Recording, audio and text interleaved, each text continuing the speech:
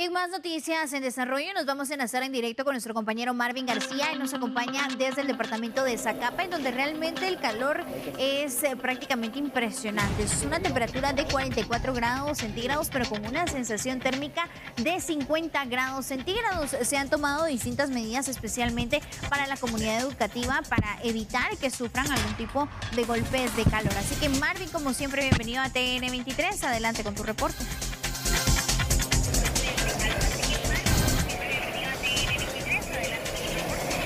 Hola Ligia, muy buenas tardes amigos televidentes de TN23, lo has mencionado, la temperatura que se mantiene acá en este departamento en eh, Zacapa, la cabecera departamental donde nos encontramos. Y es que se ha girado por parte de la Dirección Departamental de Educación un nuevo horario para los estudiantes. Hemos ingresado a un establecimiento educativo.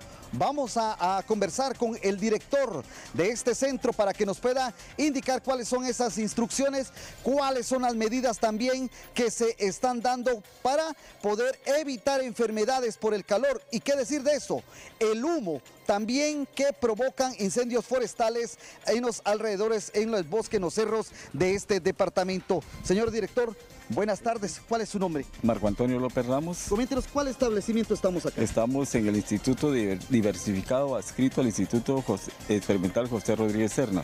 Coméntenos cuáles son esas medidas. ¿Hay una nueva instrucción por parte de autoridades? Correcto. Eh, la Dirección Departamental ha girado una, una circular eh, 31-2024 donde establece las normativas para dar, eh, atender a los estudiantes en un horario que es de 7.30 a 10.30 para la jornada de la mañana y para la jornada de la tarde es de 14.30 a 18 horas. Director, se ve como que está nublado pero todo el día ha permanecido así, ¿es por el humo? Exactamente, primero por la bruma, ¿verdad? Y posteriormente por los incendios forestales que tenemos alrededor, en la cual ha provocado grandes eh, en el cambio climático en el medio, ¿verdad? Ya, cuesta para respirar para los alumnos y el calor también. También, está en esa situación se nos da entre las 11 de la mañana a lo que es a las, eh, a las 14.30 a más o menos 16 terminando ya la, ola de calor, así lo que se llama la sensación térmica, ¿verdad? que llega a 50 grados. Estamos en una temperatura de 44 y una sensación térmica de 50 grados. Muy alto a lo acostumbrado para Acostumbrado, esta capa ha sido caloroso, pero en esta oportunidad es más de lo, de lo normal. ¿Alguna enfermedad con alumnos que se ha eh, presentado? por el momento no, solamente le decimos a los estudiantes de que deben de hidratarse para evitar caer en una cuestión de insolación, ¿verdad? porque recuerde que el estudiante exponerse al sol, pues puede causar la insolación. En algunos escenarios o otros departamentos, director, se había hablado la posibilidad de estudiar de noche para evitar eh, el fuerte calor o el sol. Se, se tuvo la idea en algunos lados, pero no, no, sé, no sé si fue concreto la idea, ¿verdad? No sé. Acá en este momento, eh, los horarios que usted ya mencionó. Ahí estamos. Muchísimas gracias, eh, director. Amigos, excelentes compañeros en Estudios Centrales. Importante hablar con los estudiantes y es que vamos a aprovechar que acá andan unos que vinieron a comprar precisamente y vamos a, conversar con ellos eh, rápidamente. Hola, señorita. Buenas tardes. ¿Cómo está? ¿Cuál es su nombre? Gladys Menéndez. Ya, Gladys, coméntenos por favor la problemática que están enfrentando como estudiantes, estar en estos establecimientos educativos en este momento, con este fuerte calor, con este grado que hasta 50 se puede eh, sentir y sobre todo algo más complicado, el humo. Mm, le puedo hablar desde mi perspectiva que está muy fuerte y más que nada porque en las aulas em, a veces pueden ser un poco cerradas y hay más alumnos tal vez de los que deberían y eso hace que el calor se sienta aún más fuerte. Muchos de mis compañeros he visto que cuando algún maestro está dando su clase, eh, no pueden evitar estarse, agarrar cualquier cosa para darse aire porque como usted mismo lo dice, em, está muy fuerte y aquí siendo siendo muy, bueno, habiendo muchos estudiantes y siendo muy las áreas, las aulas, mejor dicho, cerradas, este, el calor se siente aún mucho más y para aquellos que digamos que vienen tal vez de trabajar en la mañana, luego darse un baño, venir del sol, venir aquí y el calor les puede ¿Ha terminar. Sido complicado para ustedes recibir las clases? Supongo que para la mejor dicho para todos aquí es, es un poco muy complicado. A veces algunos maestros nos sacan también para afuera para poder em, tomar un poco de aire porque sí, estar en las aulas es un poco asfixiante a Tres veces. horas están estudiando y les dan algunos recesos para poder salir a, a- a lo- a los árboles, al sol, para no, eh, bueno, estar bajo el sol, a pesar que está como que nublado. Se ve nublado, pero el sol sigue ahí, eso sí, nadie lo va a quitar, ¿verdad? pero es la bruma y el, y el humo que se mantiene en el ambiente. Y Sí, cuénteme, por favor. lo que le comentaba, a- eh, recibiendo alguna clase, algunos maestros deciden sacarnos para recibirla afuera y asimismo recibir aire también. Ah, sa- salen. Ay, para no estar dentro de las aulas. Eso es lo que han tomado esa medida entonces también. Algunos maestros sí lo hacen, va, para justamente tomar aire porque sí, e incluso ellos mismos lo dicen, se siente fuerte el, el calor hoy en día. Muchísimas gracias. Amigos televidentes, compañeros, vamos a hablar con... ¿Qué tal, caballero? ¿Cómo está? ¿Cuál es su nombre? Rigoberto Franco. Ya, Rigoberto, coméntenos por favor su punto de vista también ante esta problemática, eso es lo que están enfrentando y evitar también enfermedades. a este calor inmenso que está atacando el departamento de Zacapa, que en la mayoría de esta semana fueron aproximadamente 44 grados a 45, con sensación térmica hasta de 50, que nos vino a afectar ya que a la hora de estudiar hay demasiados alumnos en un mismo salón de, clase, eh, ya que si no estoy mal, un salón está equipado para 35 alumnos. Y al respecto de eso hay hasta 45, 46, 47 alumnos en un mismo salón. Entonces hay calor eh, corporal y eso se genera más calor entre ahí, ya que como no tenemos algún ventilador para podernos refrescar, como dijo la compañera entrevistada anteriormente, eh, muchos maestros están tomando la medida de, bajar a lo que es las zonas eh, de los árboles para sentirnos frescos eh, y podamos comprender más los temas que los profesores nos quieren captar.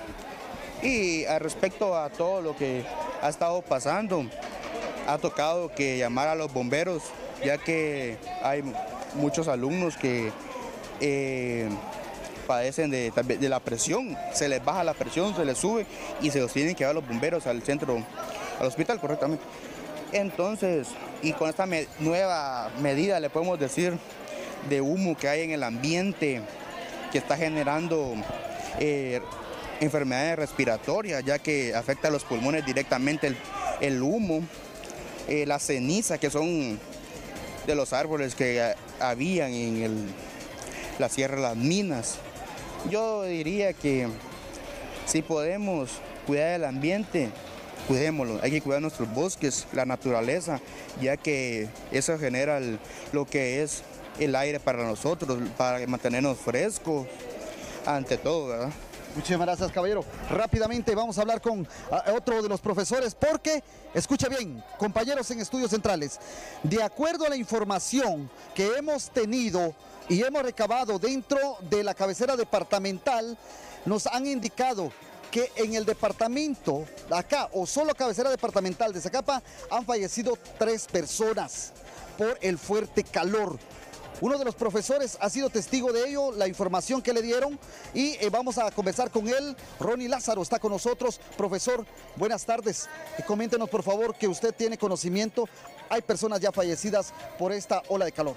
Buenas tardes, eh, Marvin. Sí, a ciencia cierta, eh, los vecinos han comentado, han manifestado de que eh, familiares de ellos han fallecido porque de plano están en algún lugar donde no hay ventilación o no tienen un ventilador, padecen de la presión, entonces eh, este calor les está afectando, pues.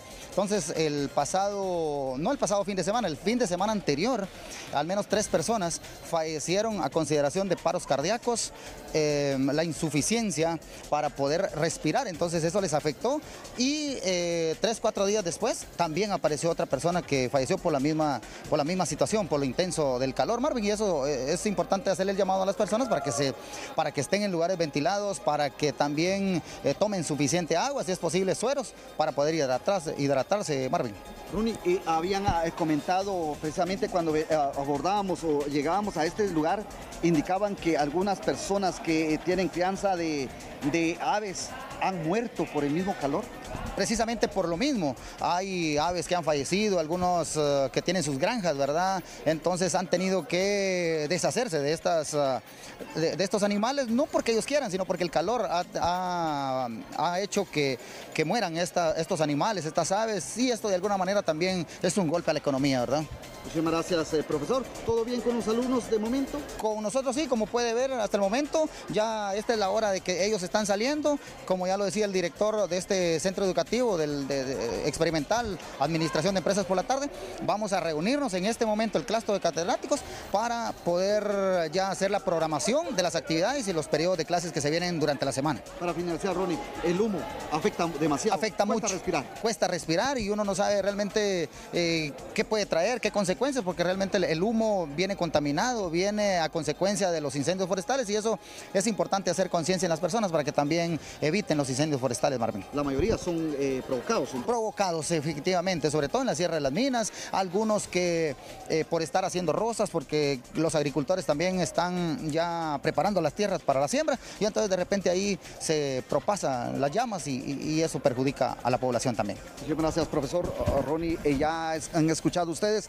amigos televidentes, compañeros en estudios centrales, pues era importante llevarles a ustedes estas imágenes y sobre todo testimonios reales acá con las personas, estudiantes, maestros, directores, sobre la problemática que ellos están viviendo, no solo por la ola de calor, sino también el humo. Créame que en lo que hemos hablado, eh, la garganta eh, eh, arde de tanto hablar y uno debe de utilizar la mascarilla en este lugar. No se observa en este momento precisamente, pero se siente el olor quemado a basura quemada, pues se siente algo que ha preocupado es que han fallecido personas. Ah, se ha confirmado fallecimiento en el departamento del Petén y en Zacapa, de lo que hemos conocido.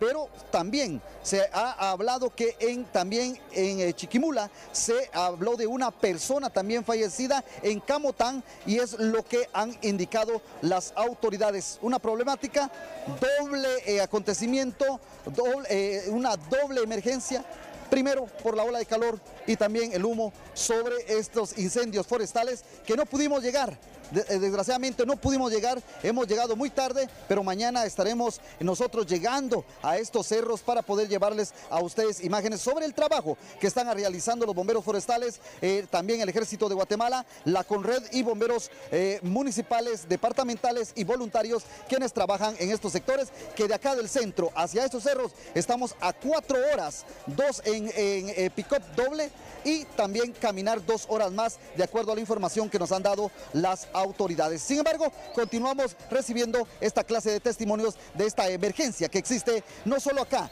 en este departamento, sino en varios poros eh, por los incendios y también por este clima que se está dando, también por la oleada esta de, de calor que ha afectado a muchos departamentos del país. Juan Carlos Calderón en cámara.